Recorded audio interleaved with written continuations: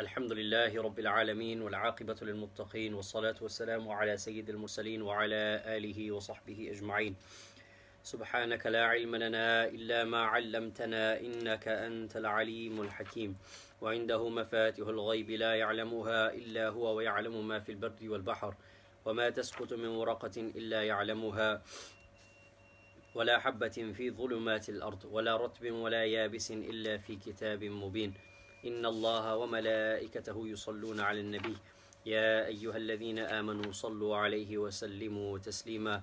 اللهم صل على سيدنا محمد وعلى آل سيدنا محمد وأصحاب سيدنا ومولانا محمد وبارك وسلم وصل عليه.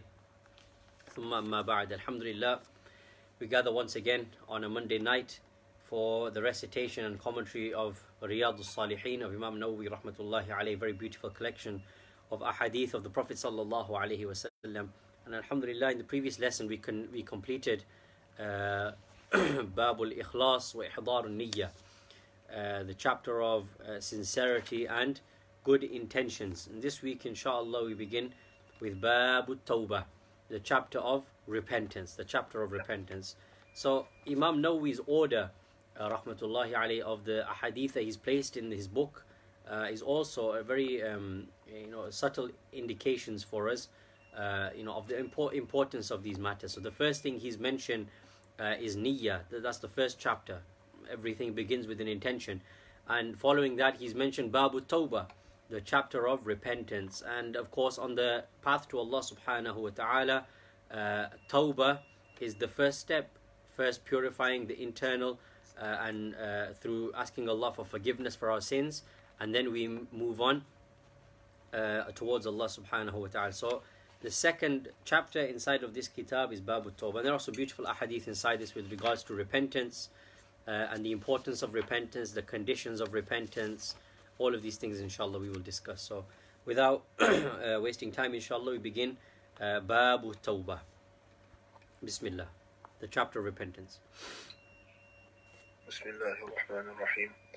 باب التوبة. قال العلماء التوبة واجبة من كل ذنب فإن كانت المعصية بين العبد وبين الله تعالى لا تتعلق بحق آدمي فلها ثلاثة شروط.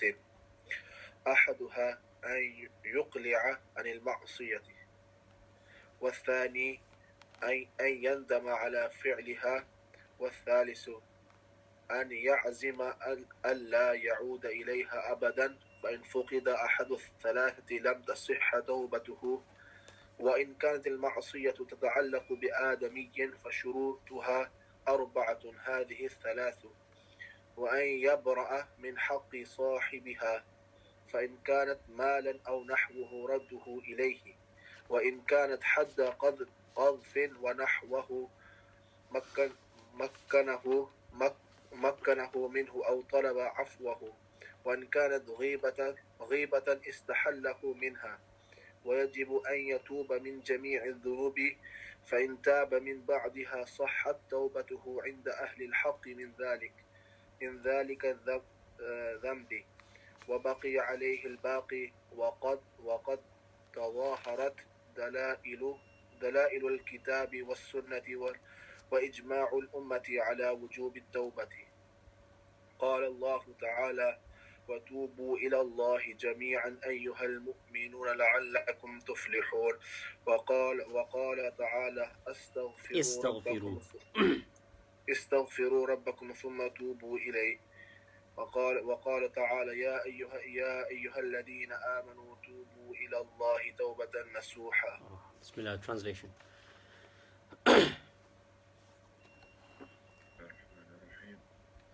Scholars say that it is a duty to repent of every wrong action. If it is disobedience which occurs between a person and Allah and does not involve the right of another human being, repentance has three preconditions. The first is that one divest, uh, divests himself of disobedience. The second is that he regrets doing it. The third is that he is that he resolved not to ever do it, return to it. If one of these three is lacking, then his repentance is not sound. If it involves to another human being, repentance has four preconditions. These three, and that he discharges his duty to the other person. If it is money or the like, he pays it to him. If it is the had punishment because of slander and the like, he gives he gives he gives him power over him or seeks his pardon. If it is slander, he undoes it. He must repent of all wrong actions. If he repents of some of them, the people of truth say that his repentance of them is sound, but he still has the rest. There is much evidence in the book, the Sunnah, and the consensus of the community about the obligation to repent. Almighty Allah says, Turn towards Allah, O believers, every one of you, so that perhaps you will have success. And the Almighty says, Ask your Lord for forgiveness and then turn in repentance to Him. And the Almighty says, O you who believe, turn in, sincere, turn in sincere repentance to Allah. Bismillah ar-Rahman ar-Rahim. So Imam Nawawi rahmatullahi alayhi, before mentioning a hadith, he gives a short uh, introduction here to what tawbah is. So he's mentioned conditions here, he's mentioned uh, if it involves a person, what are the conditions? If it's between you and Allah, what are the conditions? Inshallah, all of these details we will uh, clarify. The first thing is tawbah. What does tawbah actually mean? لغة هي لغة الرجوع uh, يقال تاب وأناب وآب بمعنى رجع uh, literally in, uh, in the Arabic language the word tawbah means to return it means to return فالتائب إلى الله هو الراجع من شيء إلى شيء so the, therefore the one who is making repentance to Allah is the one who returns from one thing to another راجع من الأوصاف المذمومة إلى الأوصاف المحمودة you are returning yourself from blameworthy characteristics to praiseworthy characteristics. So your blameworthy characteristics were the sins, and you turn from them back to praiseworthy characteristics. So you leave that sin, you ask Allah to forgive you. These are the praiseworthy characteristics which you do. And this is why Sayyidina Sahal ibn Abdullah at Tustari, rahmatullahi alayhi, from uh, the great ulama of Tasawwuf mentions, Tawbah is what? It is when you take actions that are uh, blameworthy and you transform them into actions that are praiseworthy. This is tawbah. And how do you do that? You do that through repent uh, through seclusion. You do that through seclusion. So changing from actions which are blameworthy to praiseworthy by seclusion. So you separate yourself from the creation, you separate yourself from your phone, you separate yourself from everything, and you and it's you and Allah, and you ask Allah to forgive you. This is tawbah. راجع أما نهى الله عنه إلى أمره. It's returning from uh, the disobedience to Allah to the obedience of Allah subhanahu wa ta'ala. وعن معصيته إلى طاعته. From disobedience to Allah from, to obedience. وأما يكرهه إلى ما يرضاه. From that which displeases Allah to that which pleases Allah. Okay, so all of this, uh, this is the meaning of tawbah. This is the meaning of tawbah. Now, tawbah has different characteristic uh, categories depending on uh, the reason why you are inspired to repent and ask for Allah subhanahu wa ta'ala's forgiveness. من رجع عن المخالفات خوفا من عذاب الله فهو تائب. The person who returns or goes away from uh, disobedience to Allah and repents because of a fear of the punishments of Allah, we call that person a ta'ib. We call that person a ta'ib from the word tawbah. وَمَنْ رَجَعَ حَيَاءً فَهُوَ munib. However, you can also repent not out of the fear of punishment, but out of a mere uh, modesty and shame before Allah subhanahu wa ta'ala. A person who does that is called a munib. Is called a munib. And this is called inaba. This type of tawbah is called inaba, where you don't turn back to Allah purely because you're afraid of His punishment, but you turn back to Allah out of modesty and shame before Him. This is called inaba. We call this inaba. Allah says in the Quran, وَاتَّبِعْ سَبِيلَ مَنْ أَنَابَ إِلَيْهِ Follow the path of those who have inaba towards me. Yani those who turn towards me, not because they are afraid of my punishment, but those who turn back to me out of fear, out of modesty and shame before me. Follow their path, Allah says. And uh, then you've got uh, another uh, another category, which is وَمَنْ رَجَعَ تَعْظِيمًا لِجَلَالِ اللَّهِ سُبْحَانَهُ فَهُوَ أَوَّابٌ You've got a person who is an awwab. this is another level. And an awwab is that person who repents and turns away from disobedience to Allah, not because they are afraid of the punishment, neither is it because they are ashamed before Allah, but this one, this emanates from ta'zeeman li jalalillah. This is when a person is overwhelmed uh, and when a person is in such uh, um, uh, you know, so, so overwhelmed by the magnificence of Allah subhanahu wa ta'ala, by the excellence of Allah, by His lofty status, that it, it forces them to turn back to Him. And they recognize their own lowliness before His majesty, and that turns them back to Him. This type of tawbah, we call this, we call the people who do this the awab. They are this is this is a awab. A person who is awab is of this category. And this was a description of Ibrahim alayhi. Inna Ibrahim la halimun awahun awahun munib. Uh, he was he was munib. Sayyidina Ibrahim alayhi salatu wasalam. And awab is used to describe other anbiya as well. Um, غالبا um, Sayyidina Sulaiman or Sayyidina Dawood alayhi salatu wasalam is mentioned in uh, Surah Sad, I believe. One of the Anbiya is given this uh, description of being awwab. anyway, move on. So these are levels of repentance to Allah subhanahu wa ta'ala. So there is there is the there are the, the there is the ta'ib, the one who is repentant out of fear of punishment. There is the munib, the one who is repentant out of uh, modesty and shame. And then there are the awab, those who are repentant because of the, uh, their feeling of lowliness before the magnitude of Allah subhanahu wa ta'ala. قال العلماء التوبة واجبة من كل ذنب The ulama have all agreed that uh, uh, tawbah, repentance is necessary from every single sin. And its wujub is something which is mujma alayh, it is a matter of agreement by all of the ulama. This is not different upon. ولا فرق بين الصغائر والكبائر الظاهرة والباطنة. There is no difference whether it is a minor sin, whether it is a major sin, whether the sins are internal or whether the sins are external. Okay? So minor sin and major sin, we know the difference between those we've discussed many times before. A minor sin is that which is mentioned with a punishment or with a curse. In the Quran and Sunnah, major sin, uh, that's a major sin, sorry. A minor sin is that which is mentioned without. Uh, so uh, whether it's minor, whether it's major, whether they are internal sins or external sins, internal sins are what? Uh, like hatred, envy, jealousy, pride, uh, arrogance, um, vanity. These are all internal sins. And external sins, we all know what they are ghiba, lying, theft. We all know the categories of, of sin. So, all of these sins require repentance. And this is an interesting and very important aspect. Many of us focus on, or if we are concerned with anything uh, uh, in the first place, the only thing we worry about are, uh, you know, apparent physical sins, you know, apparent uh, external sins. And the internal sins are not something which give, we give much thought to, but they are Allah subhanahu wa ta'ala calls them in the Quran Batin al Ithm. Batin al Ithm. Um, so this is what we must uh, seek tawbah from. So we seek repentance from all of these things. In reality, um, uh, when we seek tawbah from Allah subhanahu wa ta'ala, the majority of our sins, the majority of our disobedience and our falling short, we are unaware of. And we and we are unaware of and we are negligent of. That's the reality and the small portion of sins that we do or, or are aware of and we seek tawbah, that's the, that's the small amount. The majority of them we are negligent of. That's the reality.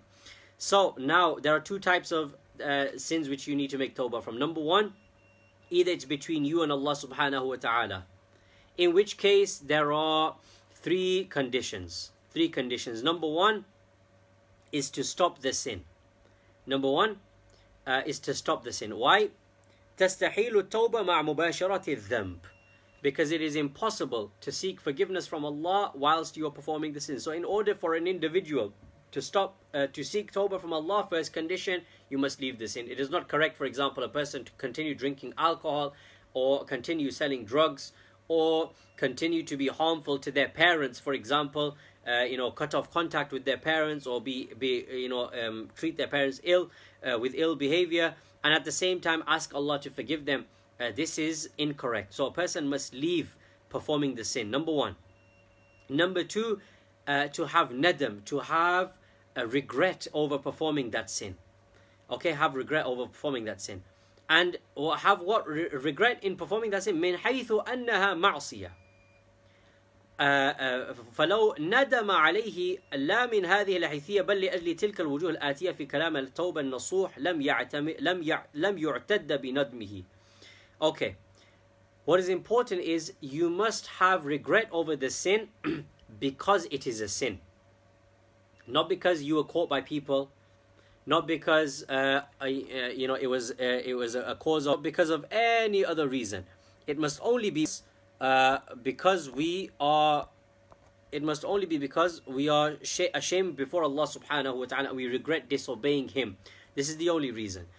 So that's the second condition. The third condition, أن يعزم ألا يعود إليها أبدا. To have a firm intention that you will never return to the sin ever again. Uh, فلو يعود التائب من الرياء إلى مثله وهو الرياء وإلا فالمعصية التي كانت تلبس بها انقضت وزالت فلا يمكن العود إليها. okay. So an individual must uh, repent from the sin such that they, they, they uh, say to themselves that they will never ever return uh, back to that sin. Um, for example, as the one who is seeking repentance from riya, ostentation, uh, a person must, uh, when they're making tawbah from that, they must ask Allah, they must have firmly in their heart that they will never uh, be ostentatious again, never be ostentatious again, as much as they possibly can, as much as they possibly can. Okay, some have added another condition, some ulama have added another condition. What is that condition? اشتراط عدم الصحبة من ارتكب معه المعصية بعد التوبة the condition that you must no longer accompany those people with whom you performed this sin. Some ulama have added this condition. And wallahi, this is an incredibly important uh, consideration. Incredibly important consideration. Uh, so, part of Tawbah is to change our the place that we are in change the surroundings that we are in change our company if they are leading us uh, to evil and so some ulama therefore have added this condition that what that we should leave those people that we are performing the sin with. Leave the people that we are performing the sin with. So uh, incredibly important that we understand this. So some ulama have added this condition as well. For it is not uh, uh, sincere repentance if you still feel comfortable being in the company of those who are disobeying, disobeying Allah subhanahu wa ta'ala and inviting you towards that as well. Even if you say, after today, I'm never going to do the same sin as, the, as those people, I'll go to them to wherever they go, but I won't do the same as what they will do. This is still, uh, there is a lack or there is a lacking in a person's sincerity if this is that mentality. For if a person is truly repentant to Allah subhanahu wa ta'ala, truly repentant, then what? Then uh, there's a desire to change everything related to that sin. The people who uh, with who they did it, the surroundings, everything. This is true tawbah to Allah subhanahu wa ta'ala. Some, some of them uh, have, had, have added this condition. Some of them have added this condition. Okay. Uh, so if one of these are missing, the tawbah is not sound. The tawbah is not correct. If any one of these conditions are missing. Uh, so it is tawbah naqisa in that scenario, and Allah subhanahu wa ta'ala uh, uh, may not accept that. Okay, however, if a person, so the second type of sin now is that which is between a person and, and another individual.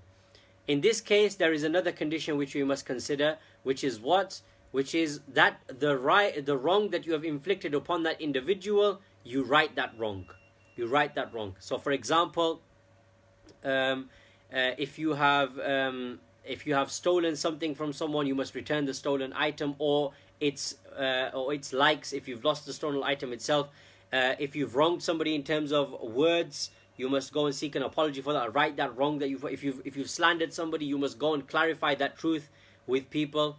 Uh, that is absolutely necessary. So this is the, this is another condition.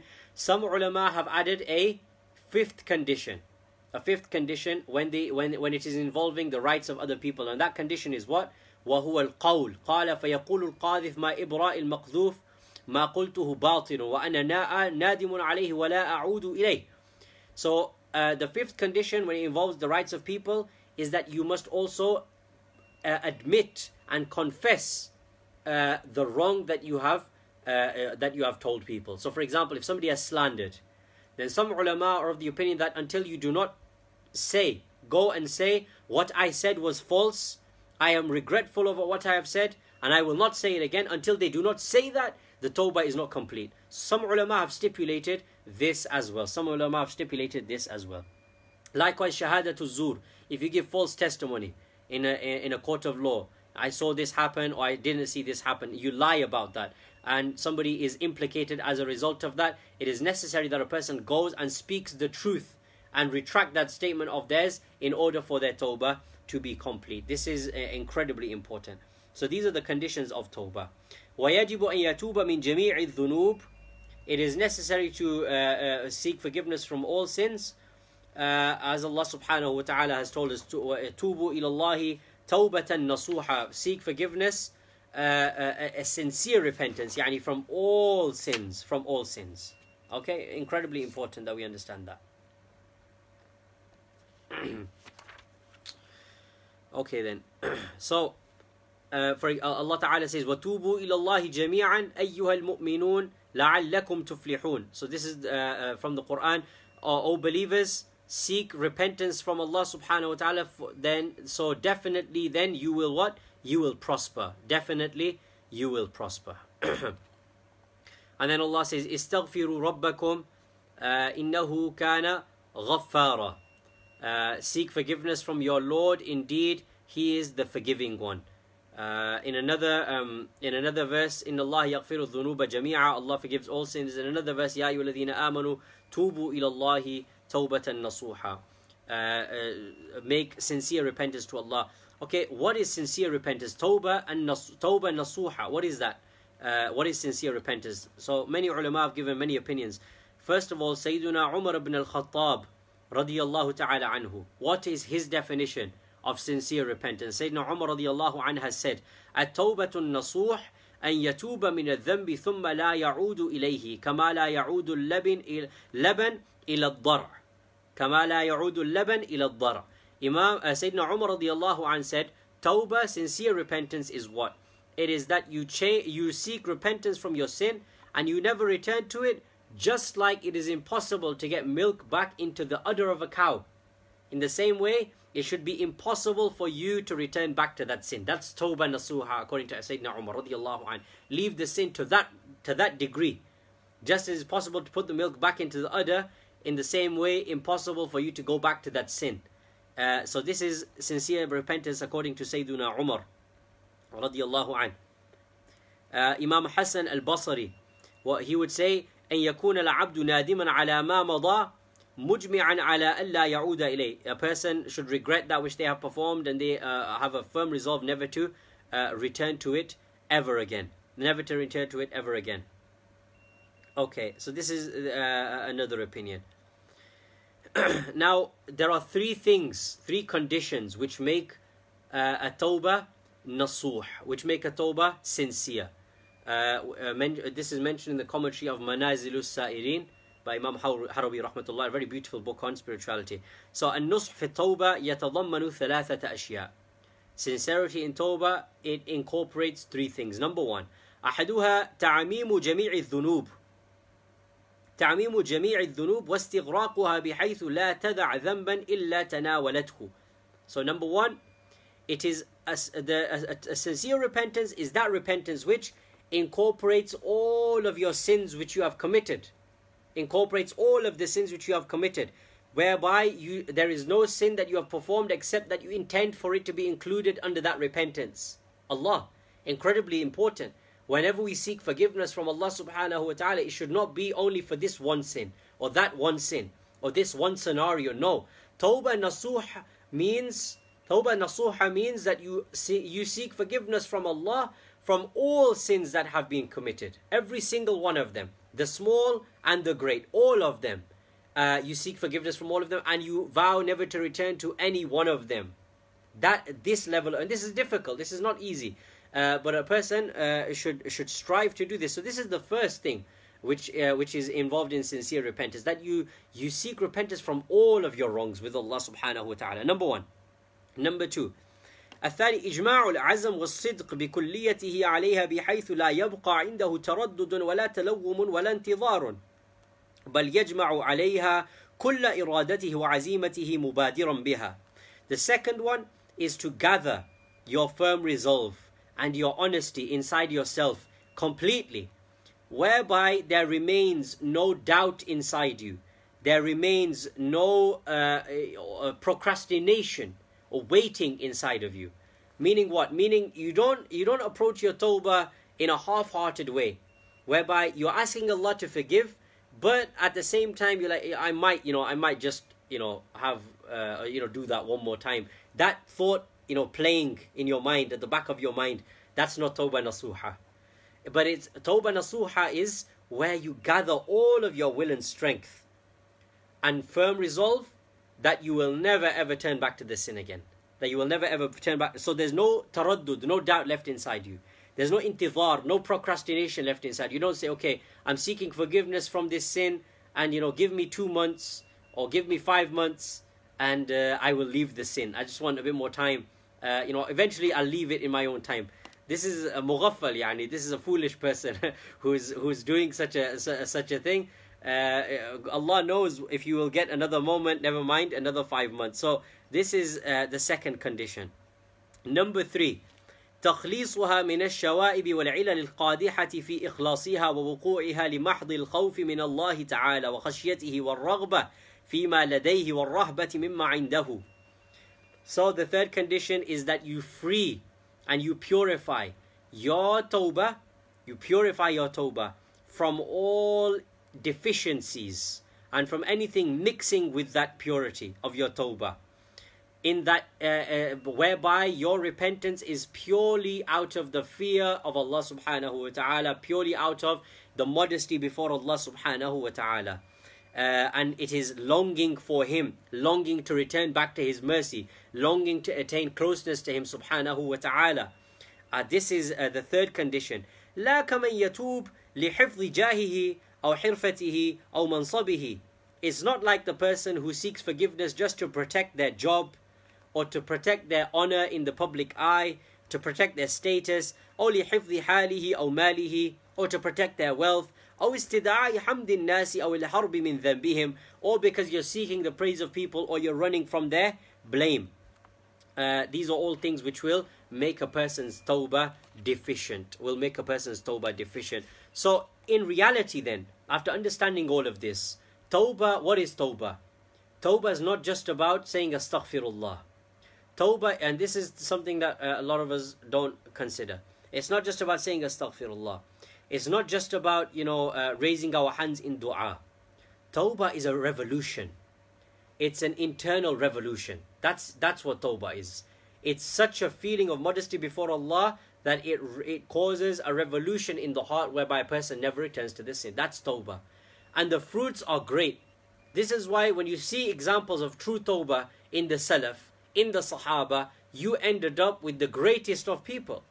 The very the the thing that they were before Tawbah, they became the very opposite of that after Tawbah. That's the nature of true Tawbah. It inspires a revolution.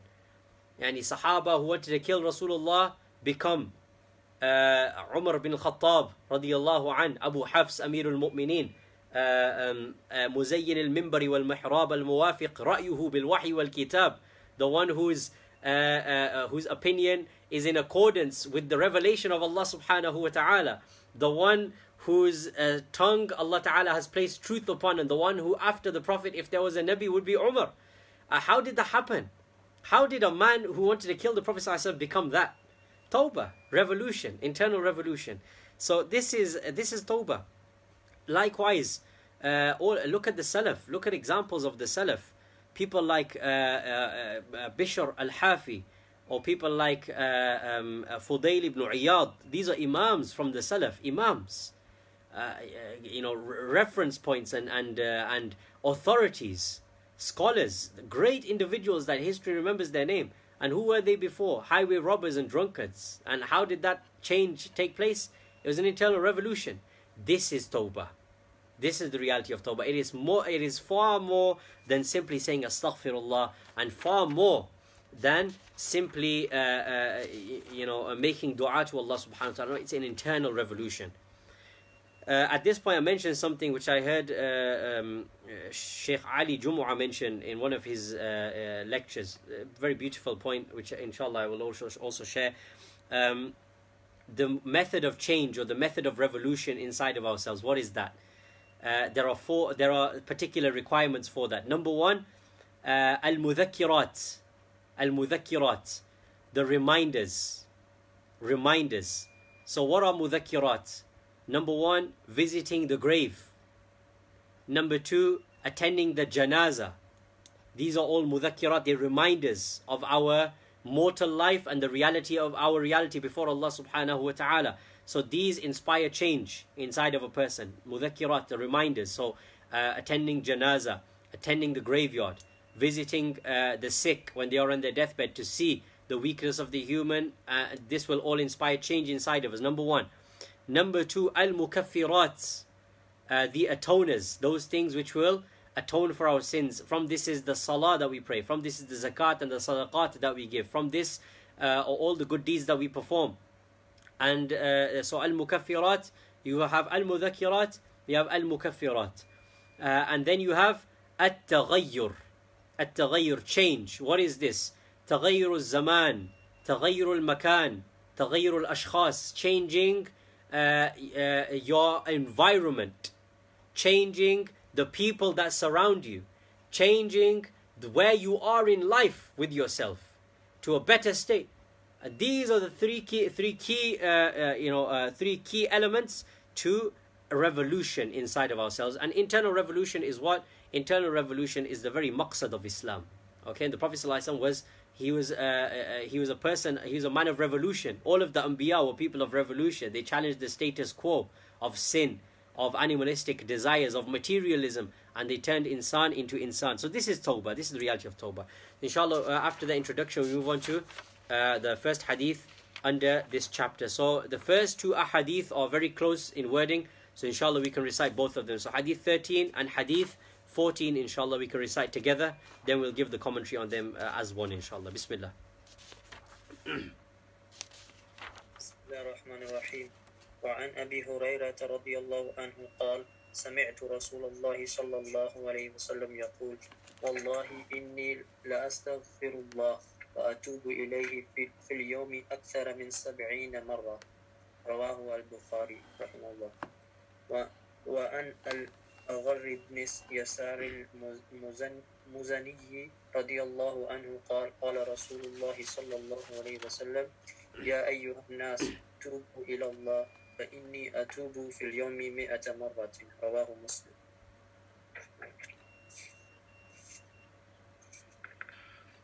Abu Hurairah radiallahu anh said, I heard the Messenger of Allah sallallahu alayhi wasallam say, By Allah, I ask Allah's forgiveness and turn towards Him in repentance more than 70 times a Mm. day. Al- Al-Ghar ibn Yasr al-Muzanni said, the Messenger of Allah sallallahu alayhi wasallam said, O people, turn your repentance towards Allah and ask His forgiveness. I turn towards Him a hundred times a day. Narrated by Muslim. Okay, Bismillah ar-Rahman ar-Rahim. The Prophet wasallam commanded us to seek istighfar and to make tawbah because he seeks forgiveness more than 70 times, or fi riwayah more than 100 times a day. Subhanallah. Allahu Akbar. First of all, uh, the first thing we must understand here uh, is that the number here, 70 or 100, uh, we don't have to understand this as literally 70 or 100 times. In Arabic, these are often these numbers are often used as expression for uh, a large amount. So whenever you want to talk about, uh, you know, so doing something a lot of times or frequently, the word 70 is used, or the word, or they use 100, ti- uh, uh, you- use 100. It's just an expression to mean what? Uh, to mean uh, a great deal of times, a great deal of times. So that's the opinion of some ulama. Others have said no, we can take the literal meaning here, and it literally means 70 times or 100 times that the Prophet uh, would do this. So uh, both understandings we can uh, we can take. Uh, and the reason why uh, we say that it's not actually 70 or 100 is because أن موجب الاستغفار والتوبة اللائقين به لا ينحصر يعني توبة for uh, uh, beings as weak as us who are constantly engaged in sin constantly negligent of Allah constantly falling short in our obligations to Allah subhanahu wa ta'ala is it really befitting that we limit our istighfar to 70 times Is it befitting that we limit our seeking of forgiveness from Allah to a 100 times abadan? It is not. It is not befitting at all.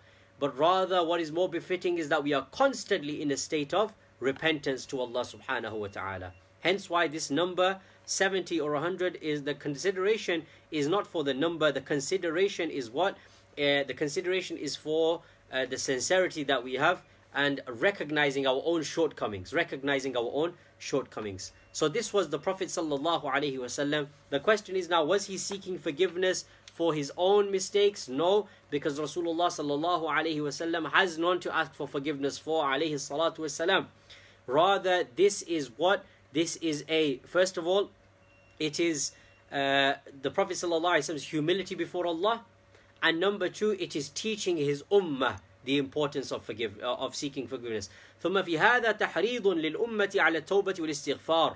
So it is it is encouraging the ummah for tawbah and istighfar. فإنه صلى الله عليه وسلم مع كونه معصوما وكونه خير الخلائق يستغفر ويتوب سبعين مرة. The Prophet صلى الله عليه وسلم, the fact that, despite the fact that he is uh, infallible without any uh, sin صلى الله عليه وسلم uh, uh, and despite the fact that he is the best of all creation, sallallahu alaihi wasallam, despite that he sought forgiveness from Allah this number of times daily. وَإِسْتِغْفَارُهُ صلى الله عليه وسلم لَيْسَ مِنَ الذَّنْبِ His forgiveness or his seeking of forgiveness, his tawbah wasn't from sin. بل من اعتقاده أن نفسه قاصرة في العبودية عما يليق بحضرة ذي الجلال والإكرام. But rather, his seeking of forgiveness was because he believed himself to be uh, uh, because of him believing himself to be deficient before the majesty of Allah subhanahu wa ta'ala. And Allahu Akbar. This is the humility and the, the state of Iman of the Messenger sallallahu alayhi wasallam. There is nobody more perfect in creation. Uh, and his haqiqah is that which no human has comprehended. And the, his haqiqah is that which only Allah ta'ala knows. And the Prophet has told us this. This is how elevated his rank is, sallallahu alayhi wasallam, despite that his state is that he is constantly seeking forgiveness from Allah subhanahu wa ta'ala. So this is a great lesson to the ummah, that we should constantly be in a state of forgiveness, constantly be in a state of tawbah to Allah subhanahu wa ta'ala. Really, if a person keeps this in their mind, there is no room for arrogance. And there is no room for, for pride to grow in the heart if a person truly understands their deficiencies before Allah subhanahu wa ta'ala. So, without a doubt, all of us should be seeking forgiveness and making tawbah daily. Tawbah is a daily obligation. That is that is something that there is no doubt about. Every single one of us daily should engage in tawbah and ask Allah subhanahu wa ta'ala to pardon us. And there are certain times where tawbah and istighfar are recommended. Uh, from those times, uh, Allah Ta'ala mentions in the Quran, وَالْمُسْتَغْفِرِينَ بِالْأَسْحَارِ The Sahri time is a time of uh, extreme uh, mercy from Allah Subhanahu Wa Ta'ala where uh, du'as and tawbah is accepted. So that's a time where a person should seek forgiveness from Allah. The, the time of the suhoor, a very blessed time. Uh, day, the day of Jumu'ah, a very beautiful day uh, as well. The day Allah Ta'ala created Adam, the day Allah accepted the tawbah of Adam as well. So it, it is a beautiful day for us to seek tawbah as well. It is a day of tawbah. The month of Ramadan, without a shadow, uh, without a shadow of a doubt, uh, is is an entire month uh, of tawbah. So these are all blessed times uh, where we must seek the forgiveness of Allah Subhanahu wa Taala. Okay, we move on to the next hadith, inshallah. Hadith number fifteen. وعن ابي حمزه قال قال رسول الله صلى الله عليه وسلم لله أفرح بتوبة عبده من أحدكم سقط على بعيره وقد أضله في أرض فلات متفق عليه. وفي رواية المسلم لله أشد فرحا بتوبة عبده حين يتوب إليه من أحدكم كان على راحلته بأرض فلات فانفلتت منه وعليها طاعم طعامه وشرابه فأيس منها. فأتى شجرة فانضجع في ظلها وقد أيس من راحلته. فبينما هو كذلك إذا هو بها قائمة عنده فأخذ بخطامها ثم قال من شدة الفرح اللهم أنت عبدي وأنا ربك. أخطأ من شدة الفرح الله أكبر بسم الله Abu Hamza Anas ibn Malik an Ansari, the servant of the Messenger of Allah sallallahu alayhi wasallam, reported that the Messenger of Allah sallallahu alayhi wasallam said, Allah is happier about the repentance of one of his slaves than one of you would be about finding your camel which has strayed from you in the middle of the desert, mm-hmm. agreed upon. In the variant of Muslim, Allah has a greater joy at the repentance of one of his slaves when he turns towards him than one of you would have over his mount, which having escaped from him with his food and drink in the middle of the desert, so that he has despaired of finding it and gone to a tree to lie down in its shade, suddenly appears standing by him while he is in that state, so that he takes it by he takes its reins and then stay and then says out of the intensity of his joy, O Allah, you are my slave and I am your Lord. Allahu Getting Akbar. confused because of his intense joy. Subhanallah. So a beautiful hadith. So Allah subhanahu wa ta'ala is more happy an individual who loses his camel and then finds that camel. Uh, it's like, you know, we always lose our keys, car keys, or uh, we always lose our phone. Uh, and you're looking everywhere for it, you just can't find it. One of the kids has hid it under the toys or something like that. Uh, uh, and then what? When you find it, how happy are we? so, uh, without any, any tashbih, without any tamthil, Allah subhanahu wa ta'ala, the Prophet wasallam has said, is more happy than a person who finds a, their camel that they have lost. In another, in the other version, uh, an individual, uh, uh, uh, who, this camel has the food, has the drink. Uh, you know, he searches and searches and searches. He can't find it. Uh, he gives up hope. Then he's resting, and finally, whilst he's resting, he sees his camel has returned. And because of his happiness, he gets his words confused. What does he say? He said, "Oh Allah, I am your slave. You are my Lord."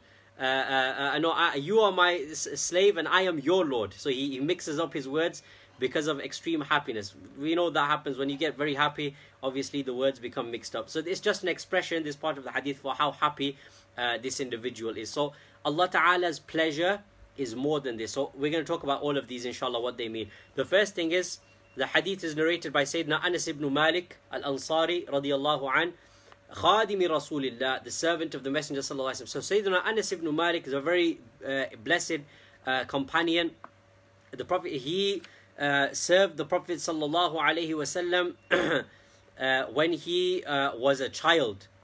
Uh, when he was a child, so he served with the Prophet sallallahu alaihi wasallam. His mother offered him in the service of the Messenger sallallahu alaihi wasallam whilst he was still a child. So the Prophet sallallahu alaihi wasallam arrived in Medina and he was approximately 10 years old okay approximately 10 years old and then he, he the prophet ﷺ passed away whilst he was about 20 years old uh, he fought in eight battles with the prophet sallallahu alaihi wasallam uh, he narrated over 2286 ahadith from the messenger sallallahu alaihi wasallam Sayyidina Anas ibn Malik is a very important, uh, a very beautiful Sahabi. His service of the Messenger sallallahu alaihi wasallam. There are some beautiful riwayat of his service for the Messenger.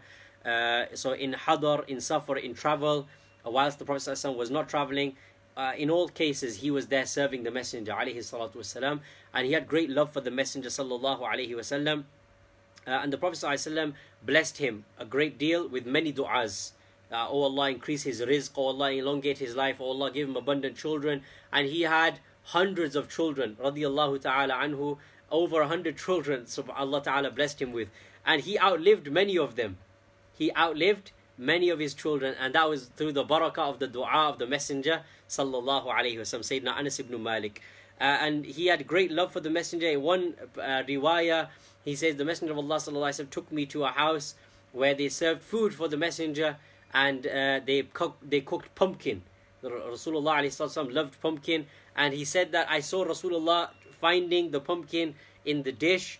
So I oh, I uh, also you know looked for the pumpkin in the dish to give it to him, and he said since that day I've loved pumpkin and I try to have pumpkin with every meal. Radiallahu ta'ala anhu ardah. So this is Sayyidina Anas ibn Malik radiallahu anhu. Uh, his mother Umm Sulaim, his mother was Umm Sulaim, and she was she's a notable companion as well. She is the one who offered her son uh, in the service of the Messenger. Sallallahu alaihi wasallam. Subhanallah, uh, how uh, uh, Uh, beautiful was this act of hers? She offered her son in the service of the Rasul, uh, and how uh, how you know lucky and how uh, fortunate was Sayyidina Anas ibn Malik radiyallahu ta'ala anhu. Anyway, so he's the narrator of the hadith. We move on. The Prophet wasallam said, "Allah is happier." with the repentance of a person than that person who loses their camel. Okay, what does it mean Allah is happier? Do we say that Allah has happiness and sadness and anger? Although these alfaz are used in the Quran and the Sunnah, ghadab is used for, uh, anger is used for Allah, farh obviously is being used in this hadith here. What are the meanings of these things? Because literally anger means what? It's thawranu uh, dam it's you know the almost it's the boiling of the blood uh, you know uh, that that's what anger is boiling of the blood and you know your body temperature rising your you know uh, heartbeat becoming faster and you become angry you become upset that's anger. Uh, does allah experience anger in this way? Uh, or what is happiness? Happiness is you know endorphins. Uh, uh, you know it's it's it's a chemical reaction. Does allah experience happiness in this matter in this manner? So what is how do we understand emotions for allah subhanahu wa ta'ala when they mentioned in the quran and the sunnah? The ulama explain then uh, that these are what we call tashbih. They are simply metaphors. They are simply metaphors. So they are هو التشبيه مركب عقلي من غير نظر إلى مفردات التركيب بل تؤخذ الزبدة من المجموع فتكون غايته ونهايته. So it is a it's a, a metaphorical expression to to express a meaning about Allah subhanahu wa ta'ala. And what you do when you look at these metaphors is you don't uh, look at the details of the metaphor itself and say Allah is experiencing that, but what you say is that what is the utmost that we can understand from this? So, for example, happiness. Uh, what is the utmost uh, uh, uh or the end result of happiness? The utmost or the end result of happiness is that you reward or that you are kind or that you are generous to the person that you are happy with. That's the utmost of it. That's the ghaya, the thamara of it. So the meaning of the happiness of Allah subhanahu wa ta'ala is rida of Allah. It's, it means that he is, uh, it means his rida, meaning that he has irada of ihsan, meaning he has the intention and he, ha, he subhanahu wa ta'ala is going to reward those that he, uh, those um, that have earned his, his happiness subhanahu wa ta'ala. So the happiness of Allah is not to be understood as a, uh, uh, an emotion, it, but rather it is to be understood as a metaphor and in reality it means uh, that Allah subhanahu wa ta'ala will reward with a great reward those individuals who uh, who earn his mercy subhanahu wa ta'ala. And he is radi with them. He is pleased with them subhanahu wa ta'ala. Not that he experienced happiness in the same way that his creation experienced happiness. As Allah subhanahu wa ta'ala is free from kayfiyat. He is free from uh, changes in his being subhanahu wa ta'ala. These are all human qualities that Allah ta'ala is without. So this is the meaning of happiness. It means Allah Ta'ala intends to reward. This is the meaning of happiness. Likewise, anger. Anger means iradatul intiqam. It, it, the anger of Allah doesn't mean that He becomes full of rage and that He subhanahu wa ta'ala becomes uh, you know his the blood starts to boil. No, Allah is free of all of that. It means that Allah subhanahu wa ta'ala may punish the individual who has disobeyed him. That's the meaning of ghadab. It's just an expression to mean the, uh, the punishments of Allah subhanahu wa ta'ala. So Allah is happier, meaning Allah will reward uh, uh, with a great reward those individuals who seek uh, uh who seek repentance from Allah subhanahu wa ta'ala. Uh, so more, more than that individual who finds their lost camel.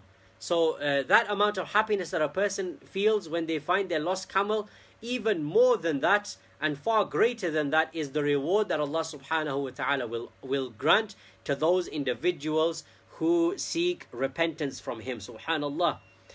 How, how merciful is our Lord.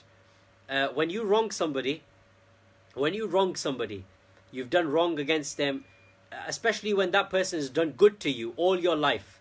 Somebody's done good to you all your life. You wrong them. When you go to seek forgiveness for that wronging, how does that person respond? we increase in our arrogance. We're like, ah, oh, you finally come. You finally realized you're wrong. Right? Why should I forgive you?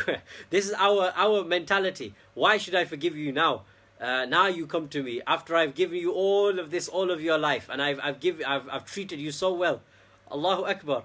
And then you have our Lord Subhanahu wa Taala, who uh, despite providing us with every وَمَا بِكُم مِّن نِعْمَةٍ فَمِنَ اللَّهِ There is no ni'mah that you have received except that is from Allah, who despite that, when we wrong Him, when He is not deserved ever to be disobeyed, we disobey Him.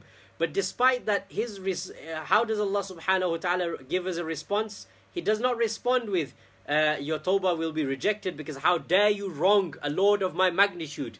Although that is the reality. But Allah Ta'ala is merciful, He does not respond like that. How does He respond? Allahu afrah bi'abdihi. Allah is happier with His servant uh, when they come and seek the tawbah from them. Subhanallah. So this is our Lord. This is our Lord. Subhanahu wa ta'ala. Jalla jalaluhu.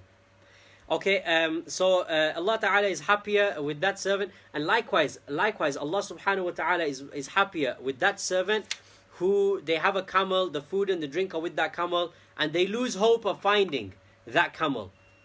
And then, whilst they are sad, they are hopeless, and they are sitting under the tree, uh, you know, completely hopeless, laying down uh, in the shade of the tree, completely hopeless that the uh, the camel is going to return. Then suddenly the camel comes back. Allah is happier uh, uh, with a person's tawbah than this individual when that camel returns. Okay, there's an important detail here.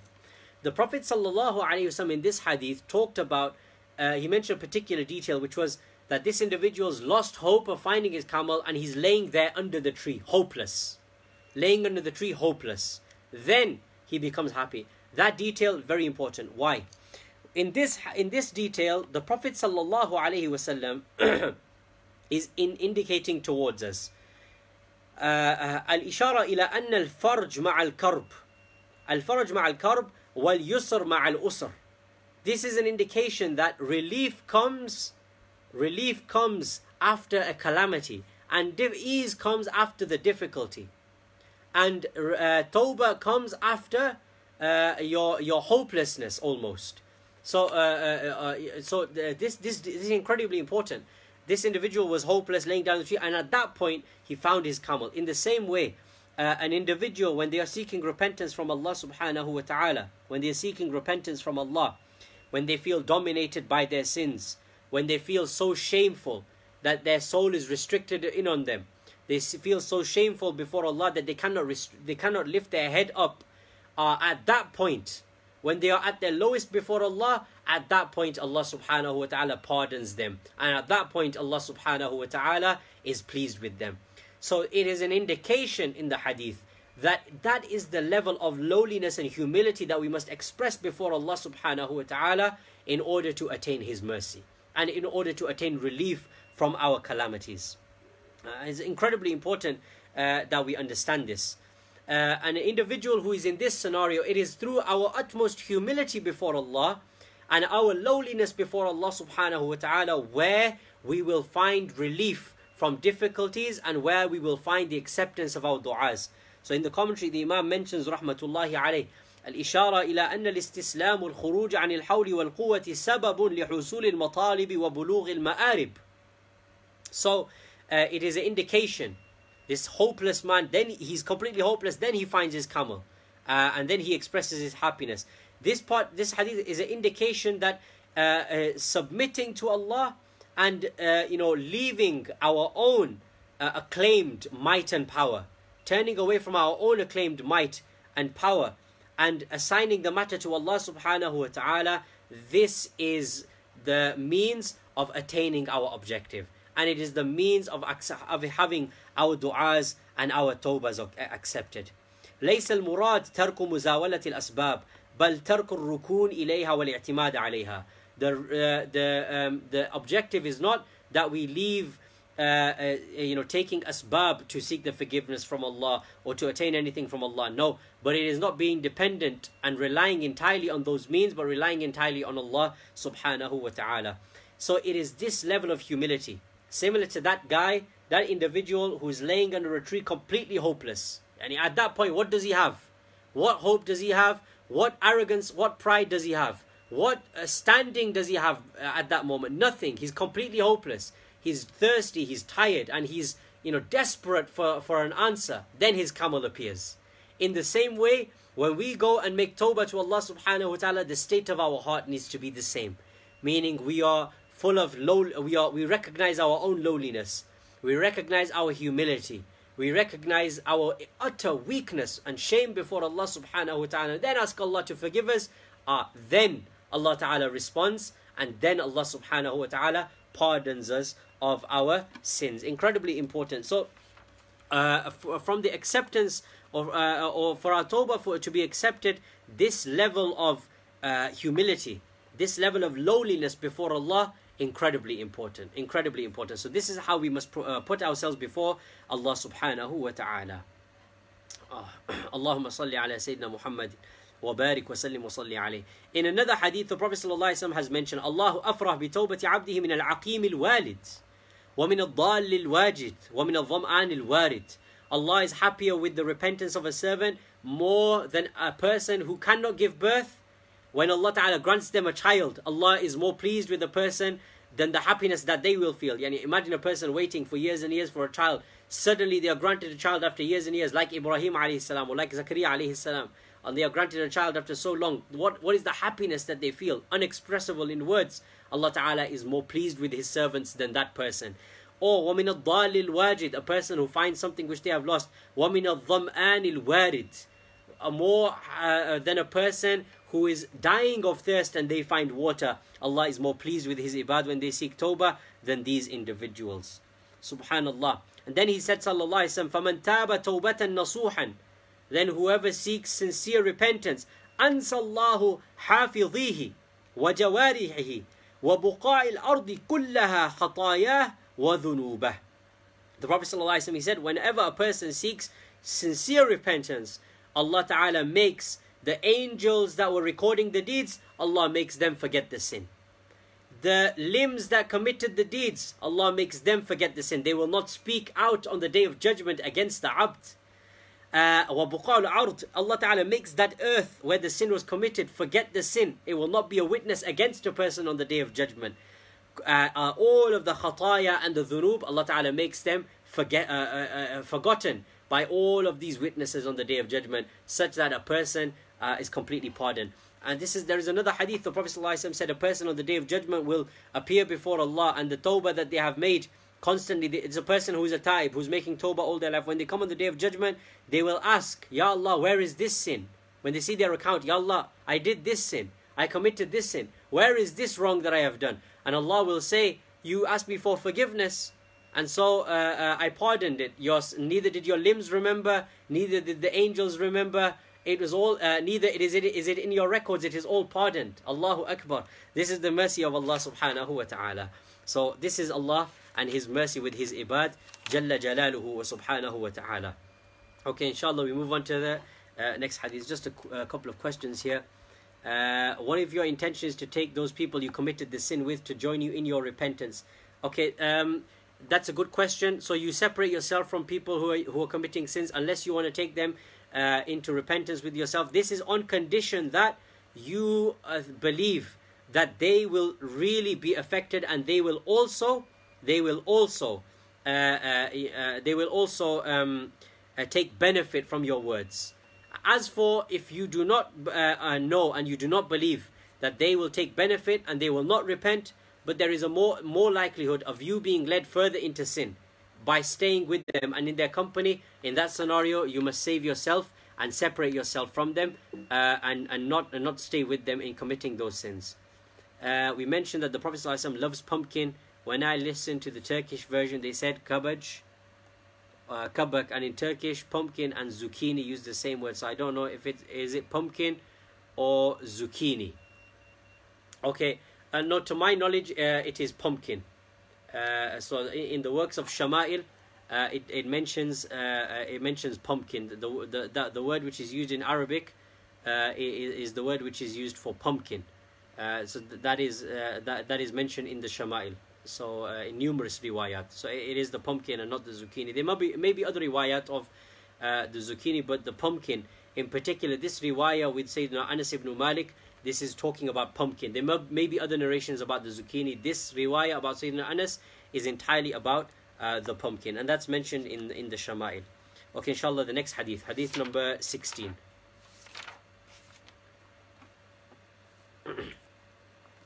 بسم الله الرحمن الرحيم وعن أبي موسى عبد الله بن قيس الأشعري رضي الله عنه النبي صلى الله عليه وسلم قال إن الله تعالى يبسط يده بالليل ليتوب ليتوب مسيء النهار. الله. ويبسط يده بالنهار ليتوب مسيء الليل حتى تطلع الشمس من مغربها رواه مسلم. سبحان الله. From Abu Musa Abdullah ibn Qais al-Ash'ari is that the Prophet sallallahu alayhi wasallam said, Allah, Almighty Allah will stretch out His hand during the night, turning towards the one who did wrong during the day. and stretch out his hand during the day, turning towards the one who did wrong during the night, until the day the sun rises from this place it set. Allahu Akbar. So Allah subhanahu wa ta'ala extends out his, his mercy in the night to pardon the sins of the day. And Allah ta'ala extends his mercy in the day to pardon the sins of the night. And this continues until the day of judgment. Subhanallah. Uh, which kings do you know, or which sultans do you know, which lords of the world do you know that when they are wronged, uh, they don't go, uh, instead of going to seek uh, the pers- people who have done wrong for their punishment, to fine them or to give them their penalty or to punish them, instead of seeking them for that, rather the, the king of the realm or the lord of the realm seeking out those that have wronged them so that they can pardon their, them of their sin. Uh, which Lord of the world do you know that exists of this nature and of this uh, of this mercy? Only Allah Subhanahu wa Taala. Uh, we wrong Him, and He is the one who is who is opening His mercy to us. So we wrong Him in the day, He opens His mercy for us during the night. We wrong Him in the night, He opens His mercy for us during the day. Allahu Akbar. So the hadith is narrated from Sayyidina Abu Musa al-Ash'ari radiyallahu an. So what does it mean? Allah extends His hand uh, in the night. Imam uh, the ulama have mentioned, Ibn Hajar uh, has mentioned uh, amongst many other ulama. This is the uh, this is the opinion of the uh, and the, and all of the Ahlul Sunnah are agree, in agreement on this. بسط اليد عبارة عن الطلب لأن عادة الناس إذا طلب أحدهم شيئا من أحد بس إذا طلب أحدهم شيئا من أحد بسط كفه أو هو عبارة عن الجود والتنزه عن المنع أو هو عبارة عن رحمة الله وكثرة تجاوزه So uh, when Allah Ta'ala extending his hands, what does that mean? It's an expression for Allah seeking. Because when you are seeking something, what do you do? You put your hand out.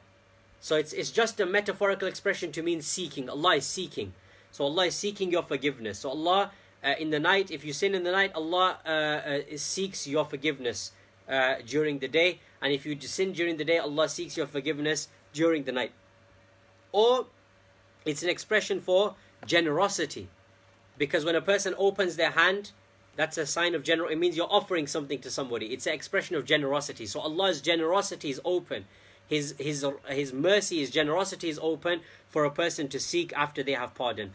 So this is another uh, another meaning of this. So it means Allah Taala extending His hand means Allah Taala is seeking a person's forgiveness, or Allah Taala is being is open His generosity to those people that have committed sins. Or it just means the mercy of Allah subhanahu wa ta'ala and وَكَثْرَةِ تَجَاوُزِهِ عَنِ الذُّنُوبِ and how, how uh, you know, how tolerant and how forgiving Allah ta'ala is of sins.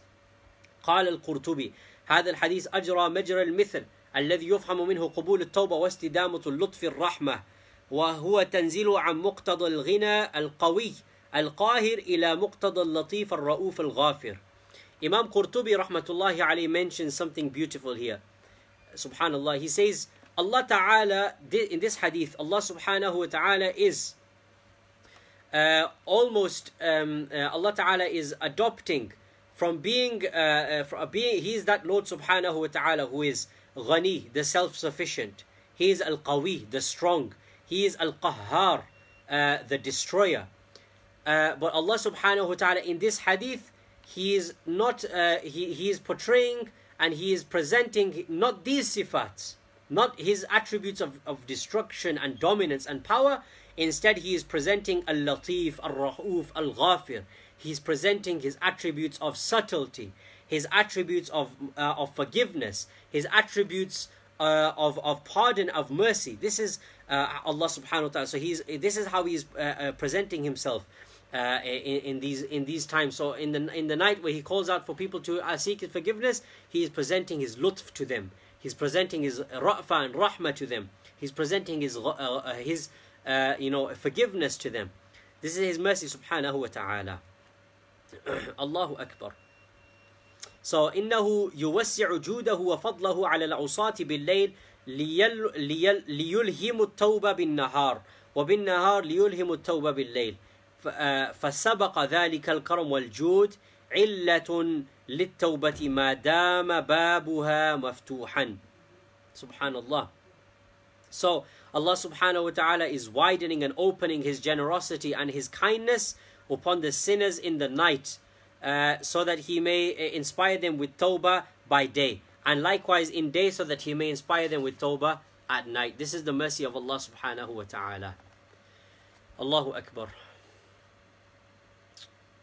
Uh, and this will continue all the way until the day of judgment. And Allah Ta'ala says on the day of judgment, يَوْمَ يَأْتِ بَعْضُ آيَاتِ رَبِّكَ لَا يَنْفَعُ نَفْسٌ إِيمَانُهَا That on that day there will come clear signs, and on that day then a person's uh, uh, uh own nafs, uh, the signs of a person's uh, that, that are shown to a person, a person's um, iman at that point when they see those signs will not benefit them. Meaning by that time uh, a person has already seen the day of judgment, seen the reality.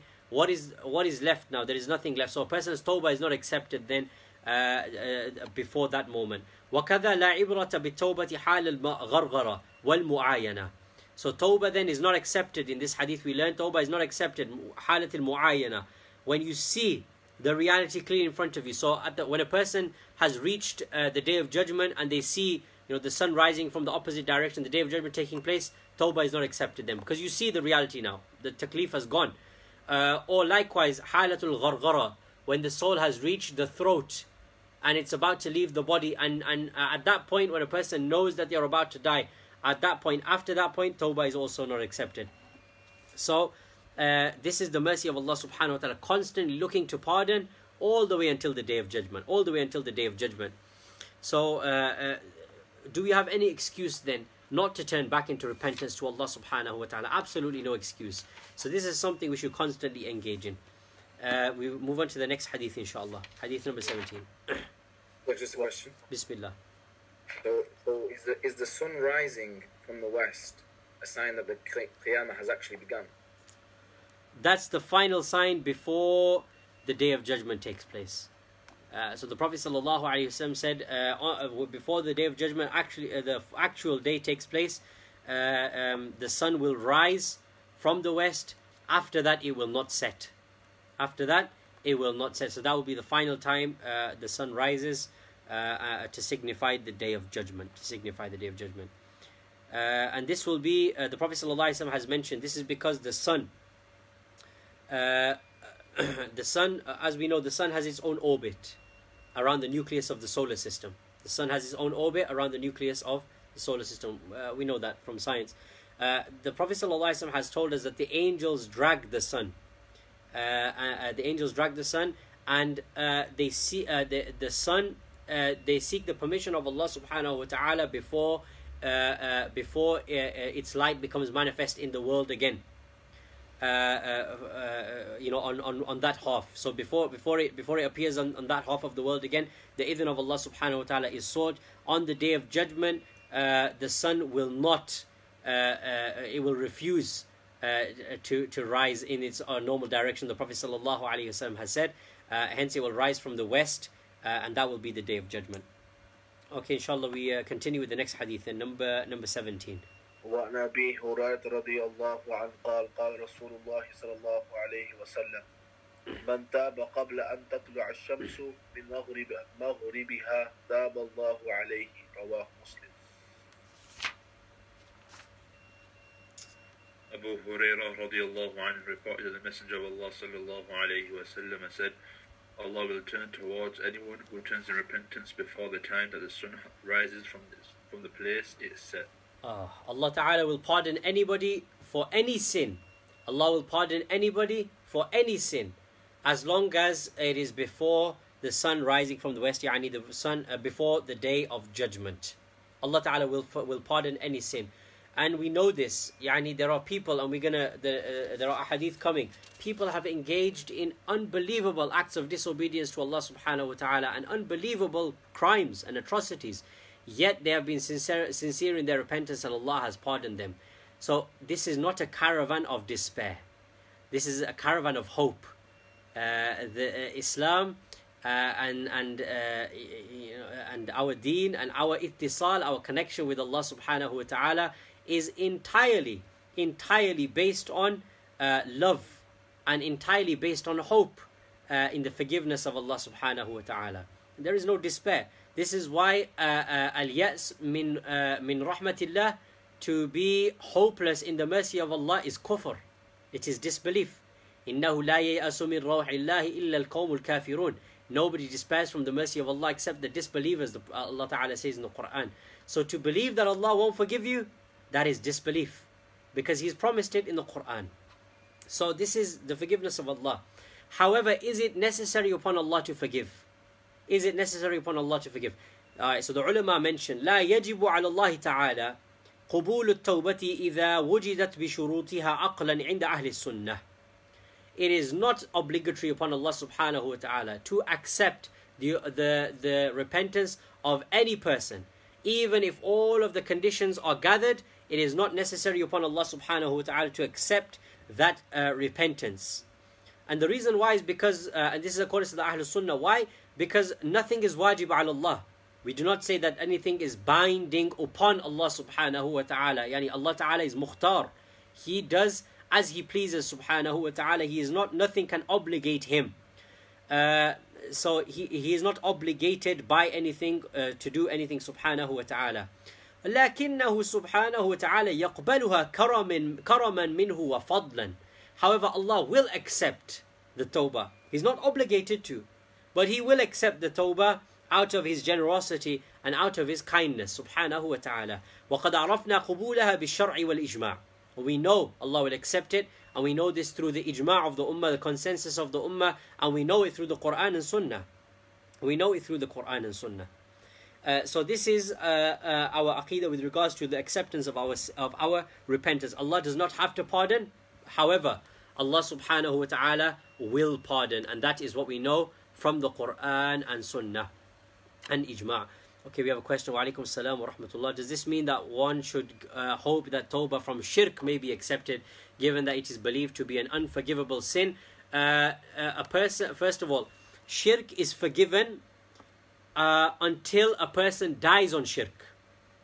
Shirk is forgiven until a person dies on shirk. Yani, a person who commits an act of shirk, if they repent from that action and they become a Muslim, okay, they accept Iman, shirk is pardoned at that point. Uh, so that that that that shirk is pardoned without a shadow of a doubt. What it means by "Inna Allah la yaghfiru an yushraka bihi," Allah will not accept shirk. It means that a person who dies as a mushrik, Allah will not accept their forgiveness. That we know. Uh, so for that there is no hope. For a person who has died on shirk, no, there is no hope at that point, and that's that. And neither can we hope for that because that is something which is uh, negated by the Quran. Allah has told us He won't pardon that. So it can't be hope, hoped for after the after the death of a person. However, if a person is committing shirk during their lifetime, should we be hopeful that a person will repent and become a believer? Should we pray for the guidance of a person to become a believer and do tawbah from shirk? Absolutely, absolutely. So there is hope of forgiveness from shirk, uh, and there is. Uh, uh, uh in actuality, there is forgiveness of shirk if a person leaves shirk during their lifetime. After death, there is no hope. So, so the, the not being hopeful of it, that's talking about after a person passing away. Okay, um, uh, so this is uh, um, the this is with regards to the forgiveness of our sins from Allah subhanahu wa ta'ala. اللهم صل على سيدنا محمد وبارك وسلم. Move on to the next hadith inshallah. حديث number 18 بسم الله عن أبي عبد الرحمن عبد الله بن عمر الخطاب رضي الله عنهما عن النبي صلى الله عليه وسلم قال إن الله عز وجل يقبل توبة العبد ما لم يغرغر رواه الترمذي وقال حديث حسن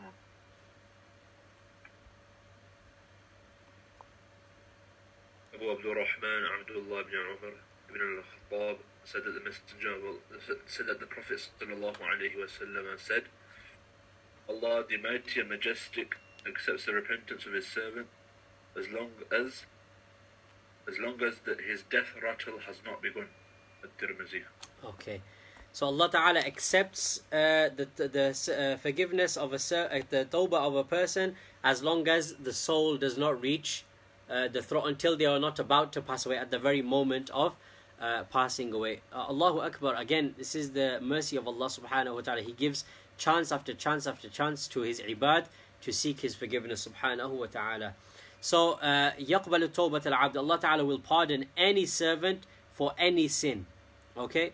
Uh, uh, until the soul does not أي تصل روحه حلقومه until the soul does not reach حلقوم حلقوم uh, means uh, your win your um, uh, your throat where the gargling takes place that area or that portion of throat we call this the hulqum okay so that until the soul doesn't reach there yani you're not literally uh, you're not at death's door allah ta'ala accepts the tawbah up until that moment and this is taken from the ayat of the quran allah ta'ala says in surah uh, in surah an-nisa uh, وليست التوبة للذين يعملون السيئات حتى إذا حضر أحدهم الموت قال إني تبت الآن وللذين يموتون وهم كفار Allah says there is no tawbah for those who do evil such that they come to death and then at the point of their death they say Ya Allah now I seek forgiveness there is no tawbah for them Allah Ta'ala says in the Quran so uh, such uh, for at that moment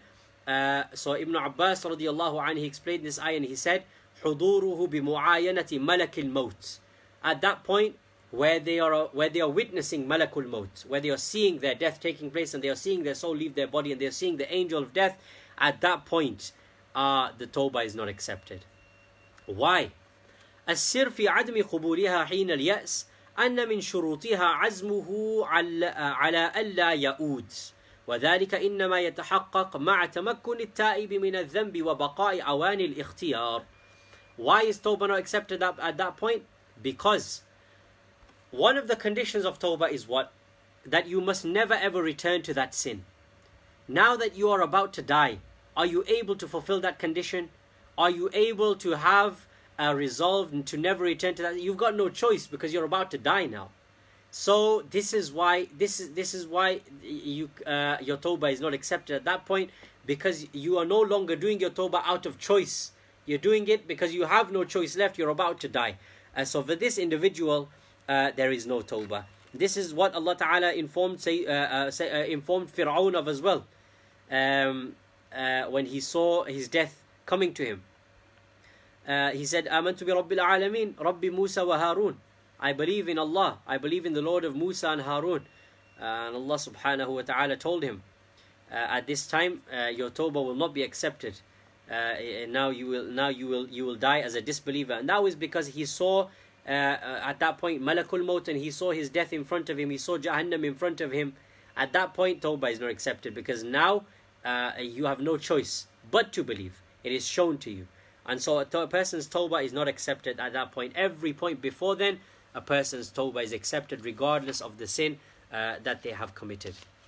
Uh, okay, inshallah, we have uh, time for one more hadith, inshallah. So we, we uh, move on to hadith number 19. Bismillah. بسم الله الرحمن الرحيم وعن زر بن حبيش قال آتيت صفوان, صفوان بن السال رضي الله عنه أسأله عن المسح على الخفين. فقال ما جاء بك؟ يا زر فقلت فقلت ابتغاء فقلت ابتغاء العلم. فقال إن الملائكة تضع أجنح أجنحتها لطالب العلم رضا بما يطلب. فقلت إنه قد حك في صدر المسح على الخفين بعد الغائط والبول وكنت امرأ من أصحاب النبي صلى الله عليه وسلم. فجئت أسألك هل سمعته يذكر في ذلك شيئا؟ قال نعم كان يأمرنا إذا كنا سفرا أو مسافرين. أن لا ننزع خفافنا ثلاثة أيام ولياليهن إلا من جنابة لكن من غائط وبول ونوم. فقلت هل سمعته يذكر في الهواء شيئا؟ قال نعم كنا مع رسول مع رسول الله صلى الله عليه وسلم في سفر. فبين نحن عنده إذ, إذ ناداه أعرابي بصوت له جهوري يا محمد فأجابه رسول الله صلى الله عليه وسلم أحوى من صوته هاؤم فقلت له ويحك اغضض من صوتك فإنك عند النبي صلى الله عليه وسلم.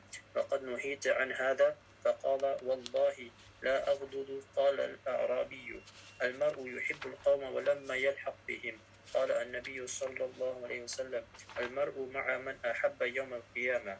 فما زال يحدثنا حتى ذكر بابا من المغرب مسيرة أرضه أو يسير الراكب في أرضه أربعين. أو سبعين أو سبعين عاما. قال سفيان أحد الر- الرواة قبل الشام خلقه الله تعالى يوم خلق السماوات والأرض مفتوحا لتوبة لا يغلق حتى تطلع الشمس منه. رواه الترمذي وغيره. وقال حديث حسن صحيح. بسم الله.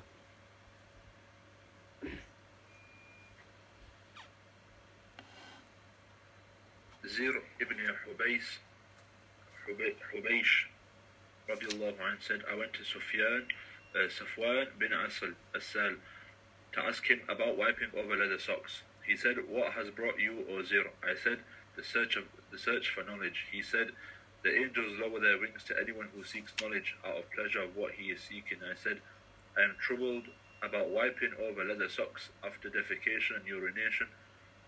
Uh, you were you were one of the companions of the Prophet, so I have come to ask you whether you heard him mention anything regarding that. He said yes. He used to command us when we were traveling or journeying not to remove our leather socks for three days and nights, except in the case of janaba. We were not to remove them on account of defecation, urination, or sleep. I said, Did you hear him mention anything about love? He said, Yes. Once we were with the Messenger of Allah sallallahu alaihi wasallam on a journey, and while we were in his presence, a Bedouin with a loud voice called out to him, O Muhammad. The Messenger of Allah sallallahu answered him in a similarly loud voice, Go ahead, I said to him.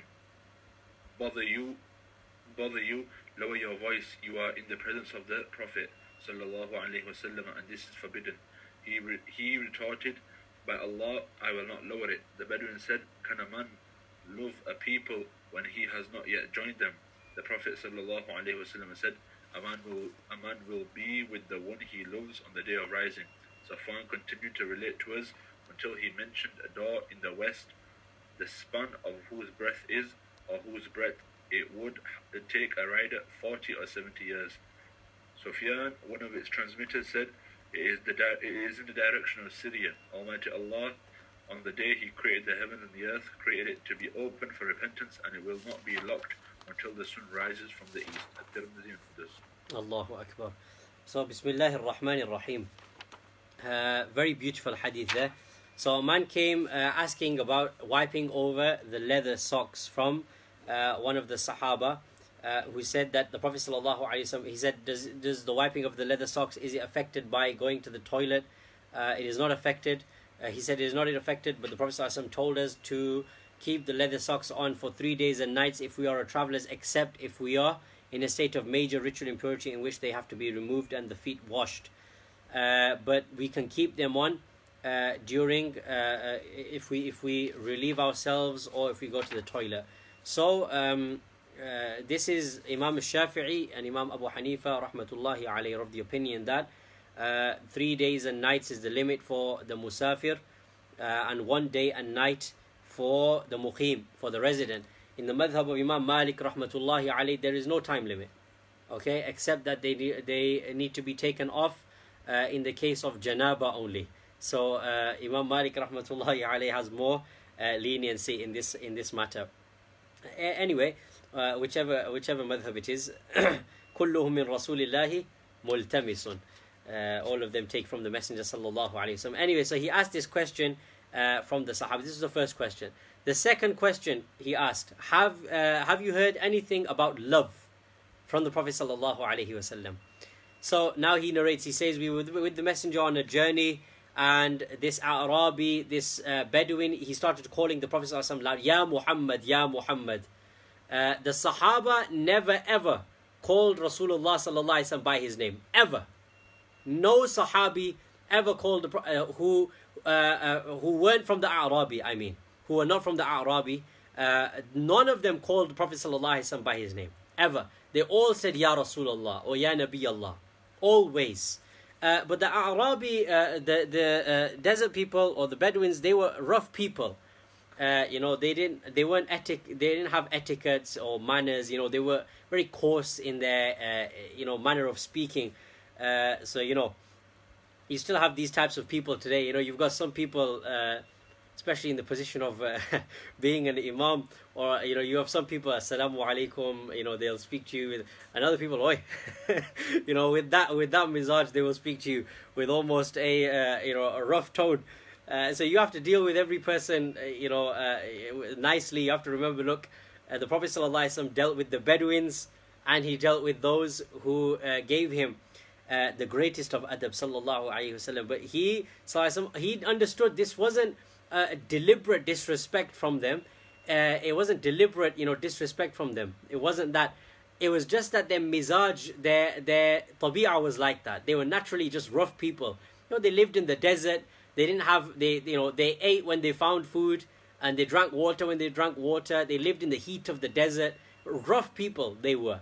So, you know, they weren't likely to have, you know, much manners or etiquettes or anything like that. So, you know, they Ya Muhammad, oh, oh Muhammad. So the Prophet responded, Nahwan min sawtihi. Look at the and look at the character of the Rasul. He responded in the same way. So he heard him saying, Oh Muhammad, and he responded, Yes, in the same way. Sallallahu alayhi wa ala alihi wa. Uh, this is his uh, beautiful character. Allahu Akbar.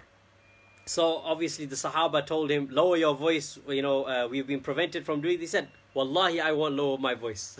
you know, they, they, these are the these are the Arab. And they were. This is how they were. Anyway, he asked the Prophet ﷺ, a person loves the people, uh, um, uh, uh, and but he doesn't do what they do. What is his ruling? I, I love. Uh, so he's talking about. Is obviously he's saying, I love the Prophet. I love, uh, you know, his good companions. But I don't do what they do in terms of, you know, I don't have the same ibadats and the Prophet ﷺ responded, A person will be with the, who they love on the day of judgment. Uh, they will be with the who they love on the day of judgment. And the Prophet ﷺ then mentioned a door uh, which is incredibly wide, which will remain open for Tawbah and will not be closed uh, until the day of judgment, until the sun rises from the west. Okay, so the first thing is in this hadith earlier on, the Prophet ﷺ, uh, of the Sahabi, he, he said that uh, when this individual came asking the question, that indeed the angels put their wings down for the seeker of knowledge. وَهَذَا حَقِيقَةً إِلَّمْ نُشَاهِدْهُ Okay, this is a reality. This is not to be interpreted metaphorically. It is a حقيقة. Why? للقاعدة المشهورة إن كلما أن كلما ورد وأمكن حمله على ظاهره حمل عليه ما لم يرد ما يصرفه عنه. Every so this is a principle of interpreting Quran and Ahadith. Okay, wherever it is possible for us to base an interpretation on its real meaning, on its real real meaning, not metaphorical meaning, it will be taken as that as long as as long as this is important, as long as there is no legal evidence which gives us a different meaning or which which gives us uh, a metaphorical uh, interpretation. When there is that, then we will accept that. So here there is no evidence that we need uh, or that exists, you know, that will turn us away from taking the literal interpretation here. So, uh, indeed, the malaika put their angel wings down for the talibul ilm.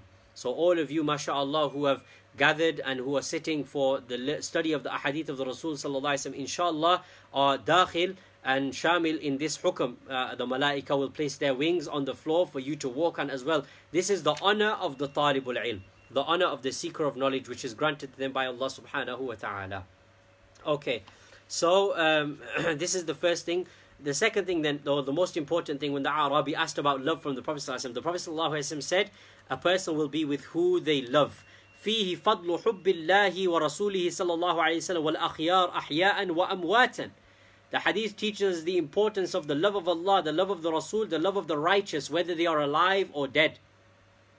ومن أفضل محبة الله ورسوله امتثال أمرهما واجتناب نهيهما والتزام الآداب الشرعية From the greatest love of Allah and His Rasul is to fulfill their commands, is to avoid their prohibitions and to hold by the legal uh, the legal etiquette that Allah and His Rasul sallallahu have made binding upon us. This is the greatest level of love. Innal muhibba liman yuhibbu muti'. Indeed, the lover, the lover is the one who is obedient to the one that they love. That's a lover. Uh, um, so, uh, so that is uh, that is true love, obedience. ثم لا يلزم من كونه مع من أحب أن تكون منزلته وجزاؤه مثل مثله من كل وجه. Okay, we may be with them. If we love somebody, we will be with them on the day of judgment. You love Rasulullah, inshallah you will be with him on the day of judgment. You love the Sahaba, inshallah you will be with them on the day of judgment. If you love uh, you know somebody else, uh, you will be with them uh, on the day of judgment. May Allah Ta'ala make our company the best of company on the day of judgment, inshallah. However, it doesn't mean that you are in the same rank as them and the same reward as them. That uh, that is not necessary, but you will be with them, uh, uh, meaning you will be you will be open to uh, their company. Not that you are in the same rank as them and in the same daraja of reward as them in the afterlife, but you will be in their company, inshallah. Uh, so this is the meaning of being with them uh, in the on the day of judgment. and when the Prophet ﷺ told this that you will be with who you love to Sayyidina Anas ibn Malik, he says, ما فرحنا بعد الإسلام فرحا أشد مما فرحنا بقول النبي صلى الله عليه وسلم المرء مع من أحب Sayyidina Anas he says after accepting Islam there was no greater happiness for us there was no greater happiness for us after accepting Islam than the day we heard these words from the Prophet sallallahu alaihi wasallam that we will be with those who we love. Allahu Akbar. Uh, and why was this? إنما كان فرحهم بهذا القول أشد من فرحهم بسائر الأعمال لأنهم لم يسمعوا أن في أعمال البر ما يحصل به ذلك المعنى من القرب من النبي صلى الله عليه وسلم. None of the other actions that they performed did they no no other action that the Sahaba performed did they they did not hear from any of those actions that it would lead to them being in the company of the Rasul sallallahu alaihi wasallam. The only thing that they heard that about وَالْكَوْنُ مَعَهُ إِلَّا حُبَّ اللَّهِ وَالرَّسُولِ صلى الله عليه وسلم. The only thing that they heard will, will grant them the company of the Rasul was the love of the Rasul sallallahu alaihi wasallam. That's why they felt uh, more happy at this than any other day. Allahu Akbar. So this is the greatest reward. فَأَعْظَمُوا بِأَمْرٍ فأعظم بأمر يلحق المقصر بالمشمر والمتأخر بالمتقدم. Ah, how great is this matter of love? It joins the deficient with the sufficient. It joins those that are left behind with those that are in front. Yani we are we are the ones who are left behind, and we get to join those who are in front, the Sahaba and the Rasul, because of love. We are the ones who are deficient we get to join those who are sufficient because of we, our love, the Sahaba and the Rasul sallallahu alayhi wa wa sahbihi wa sallam. Subhanallah. So these are the fruits of love.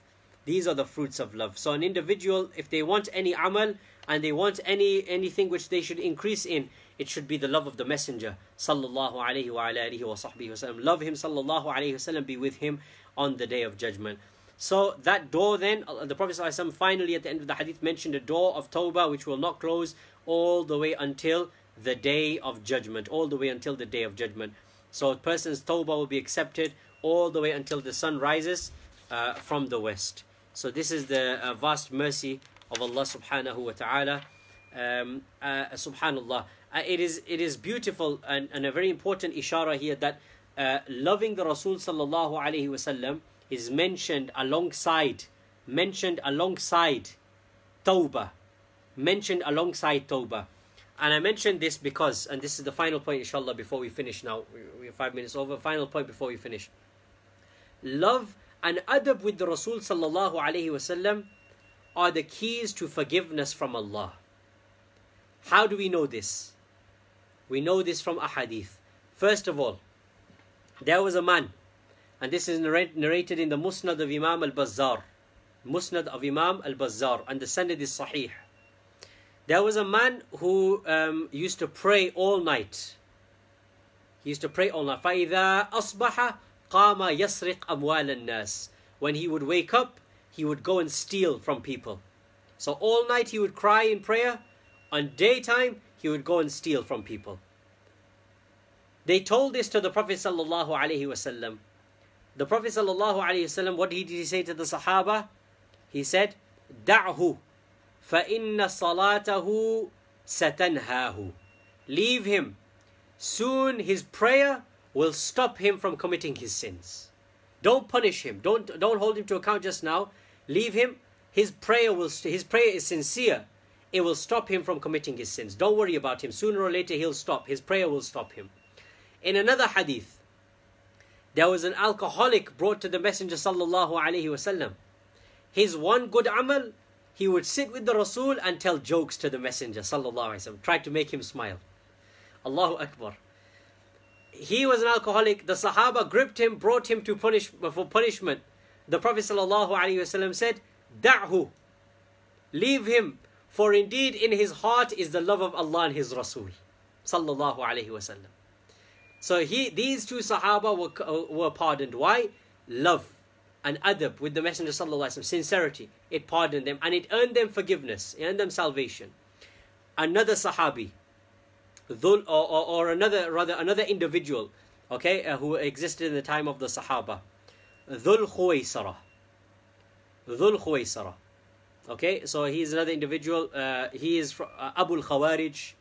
Uh, uh, the Prophet ﷺ said the Khawarij will come from his offspring. So uh, this individual is, is not a good individual. He is he's a cursed individual. Uh, so what, what what is his story?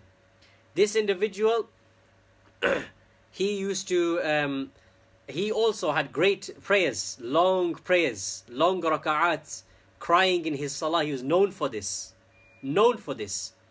However, when the Prophet ﷺ was distributing amwal, he's distributing wealth uh, at the end of a battle, he said, "I'dil ya Muhammad, O Muhammad, be just."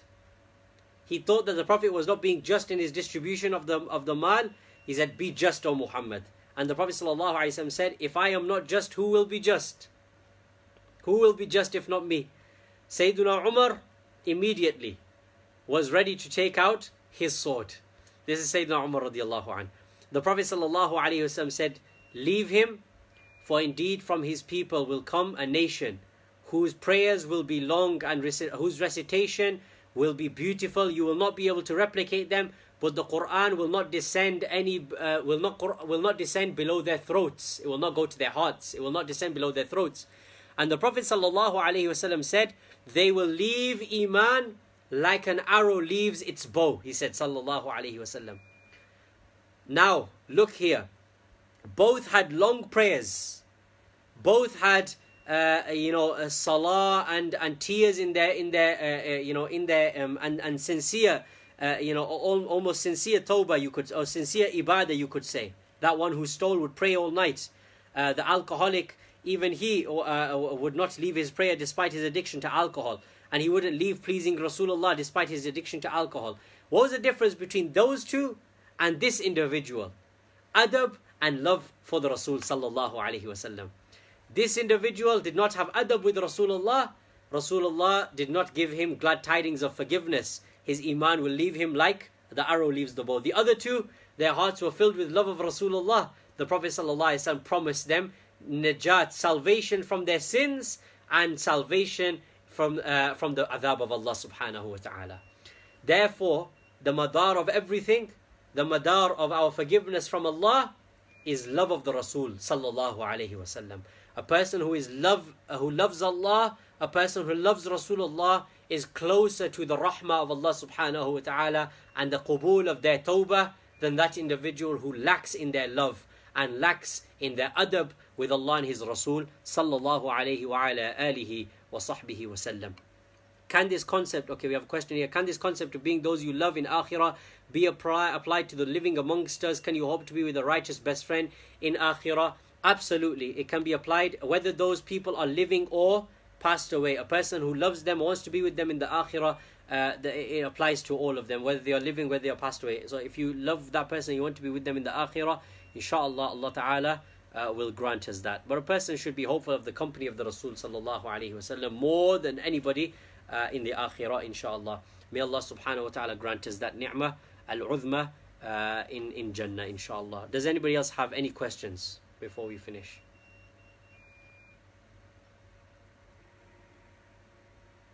I was wondering when you said about the um, no tawbah is accepted if the, the malak al-maut is witnessed. Is the kashf at that moment kashf mutlaq? Or is it just for the malak that is coming to take? Ah. I was just curious. Uh, this uh, is the kashf at that moment kashf mutlaq or is it meaning when a person sees malakul maut at the time of death is it just that a person will see just that just malakul maut or will they see absolutely everything no uh, uh, uh, at that point it is kashf mutlaq yani everything that Allah Ta'ala it, everything that they will now experience in the barzakh that is opened up to them So those who will see the, the who will enter into the punishment, mutlaqan, it will be opened up to them, the sight of everything which awaits them. Likewise, those who experience the reward. However, this is in accordance with the darajat of an individual. Okay, so the kashf will be greater and and more uh, will be experienced uh, by those individuals who are higher in their darajat. So, for example, uh, those who, who are uh, who have kamalul ittisal with Allah subhanahu wa taala, their kashf will be far greater. For their kashf won't only be of the uh, of the hur and the qusur, it won't be of the palaces and the rewards which await, await, but it will be beyond that. It will be kashf uh, in terms of uh, in terms of uh, uh, kashf with Allah subhanahu wa ta'ala. So it will be even greater. So it will be a general kashf. However, it depends on the darajat of an individual, how great and how much they are exposed to and experience when their soul leaves their body. Uh, any other questions, inshallah?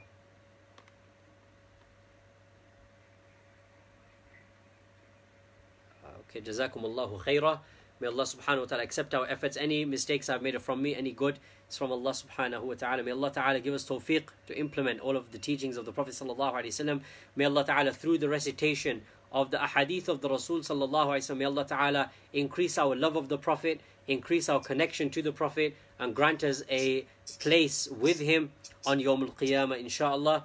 Uh, we recite Surah Al-Fatiha uh, for the Prophet sallallahu alaihi wasallam, for the Sahaba, and for the Shifa, uh, and the uh, uh, Daf'ul Bala, uh, and uh, Adhab from the entire Ummah of the Messenger sallallahu alaihi wasallam. Al-Fatiha.